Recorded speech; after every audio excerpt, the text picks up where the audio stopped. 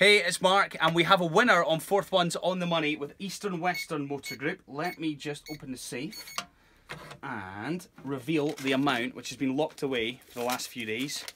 Kirsty and Kakori has just won this amount of money. Ready? £4,107.39. Well done, Kirsty. You're a winner.